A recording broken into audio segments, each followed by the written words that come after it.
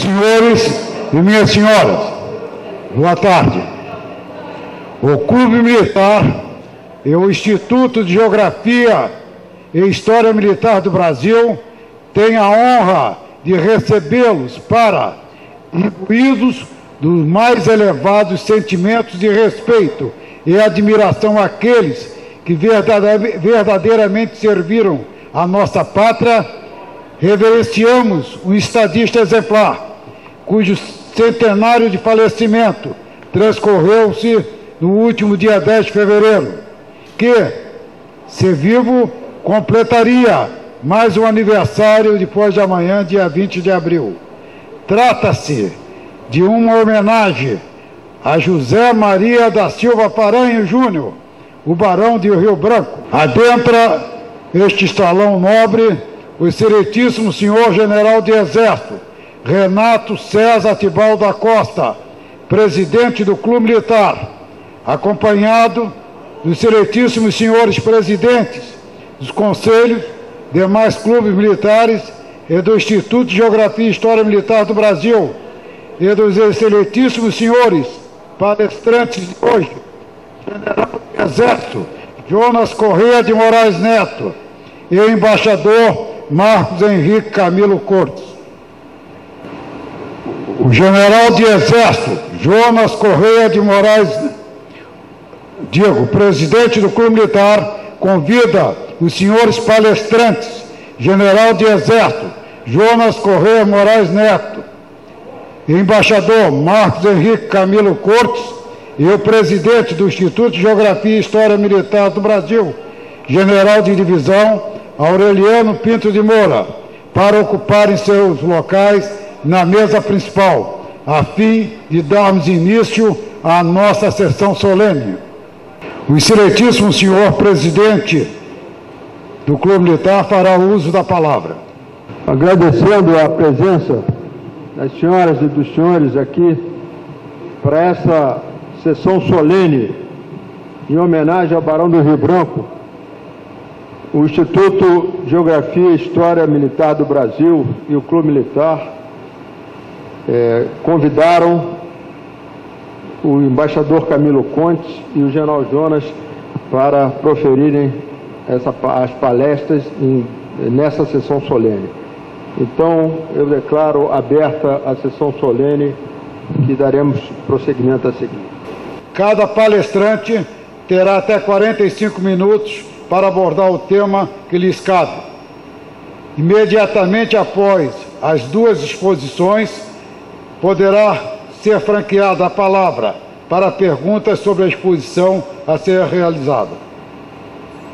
Com a palavra, o excelentíssimo senhor embaixador Marcos Henrique Camilo Cortes, que discorrerá sobre o tema Rio Branco e a diplomacia. Senhor presidente do Clube Militar, senhor presidente do Instituto de Geografia e História Militar do Brasil, senhores oficiais generais, minhas senhoras meus senhores, é, em primeiro lugar, é, peço vênia para agradecer esse honroso convite que me dá uma satisfação múltipla. Poderia dizer muitas das minhas alegrias por estar aqui hoje, mas vou me reduzir a duas. Uma para o diplomata falar sobre o Barão do Rio Branco é o mesmo que para um oficial do Exército falar sobre Caxias. É, emparelha de prazer com um avô quanto à história de neto. Há uma outra razão, que essa é circunstancial, é estar aqui homenageando o nosso Barão do Rio Branco, há pouco tempo depois de um deplorável espetáculo que nós assistimos aqui na frente do clube, no dia 29 de março, ah, em que houve uma manifestação agressiva, covarde, mas que é representativa de uma certa esquerda, que no Brasil, inclusive, tenta denegrir figuras como o Barão do Rio Branco e como Caxias. Por isso mesmo, estar aqui hoje me dá um duplo prazer. A figura extraordinária do Barão é, é mais conhecida, sem dúvida alguma, pelo que ele fez em termos de fronteiras. É preciso lembrar, porém, que toda essa obra de fixação das nossas fronteiras começou muito antes, o que em nada desmerece o trabalho feito por Rio Branco. A diplomacia portuguesa conseguiu, ao longo dos séculos, estabelecer certos princípios e, sobretudo, o brasileiro Alexandre de Guzmão, ao implantar o conceito do ultim possidetis, o Tratado de Madrid, uh, ferramenta que será usada com grande maestria pelo nosso barão.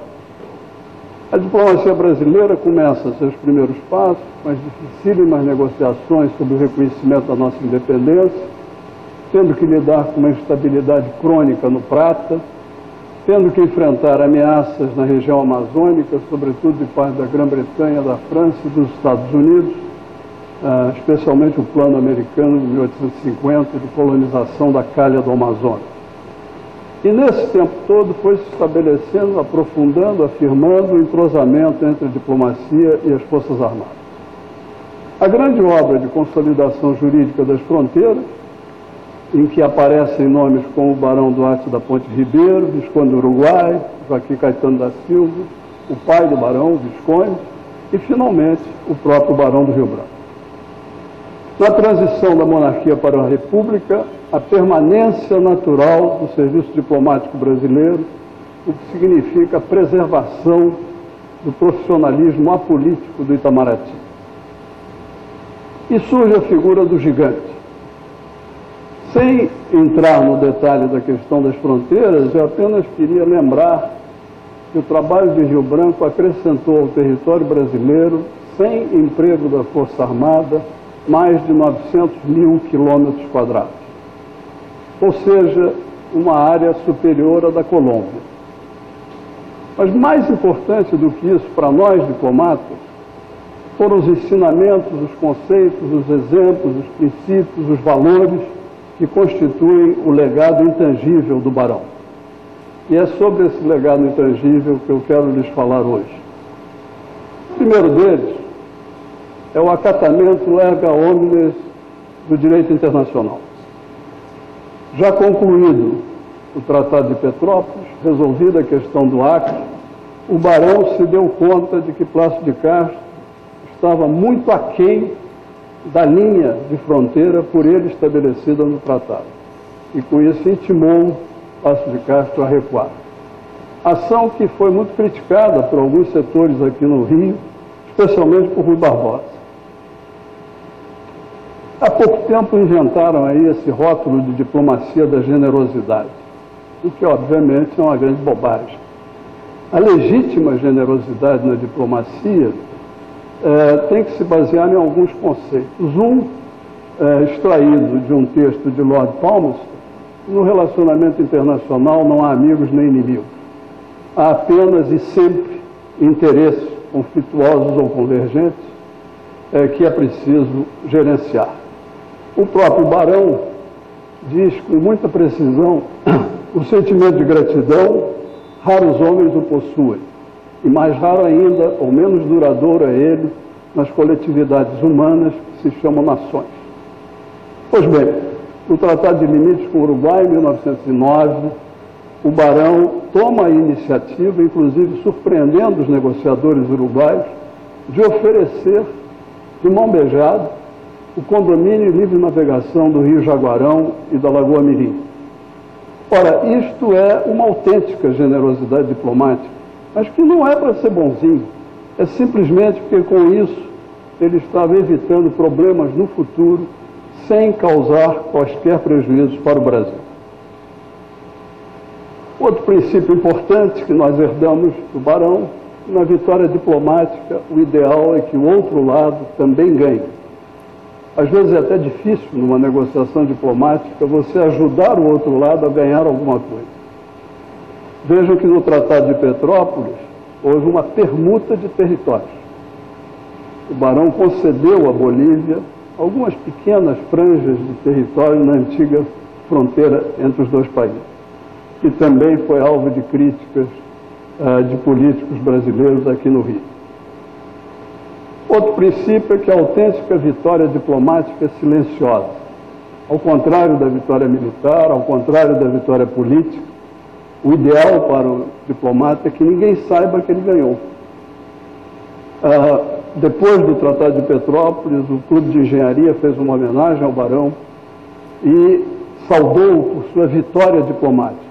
E ele educadamente pediu Vênia para negar essa atribuição, dizendo, como está aí, honroso e satisfatório para ambas as partes, o tratado é, sobretudo, vantajoso para a Bolívia e novo atestado do tino político e esclarecido patriotismo do seu ministro de Relações Exteriores.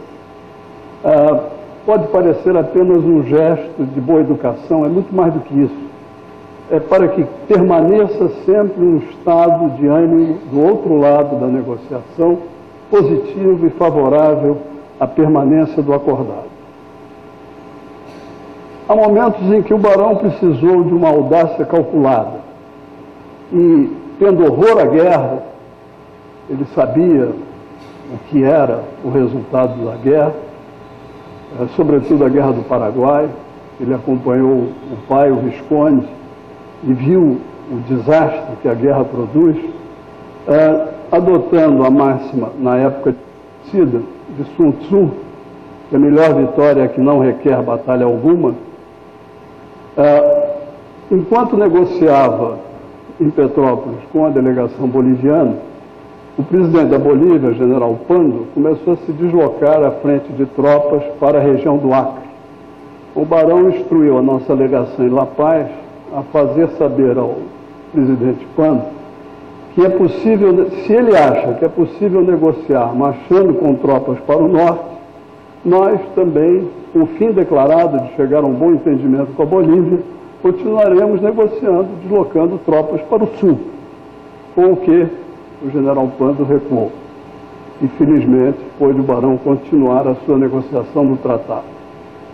Esse eh, slide eu vou saltar, porque a seguir o general Jonas vai falar sobre o Barão e o Exército.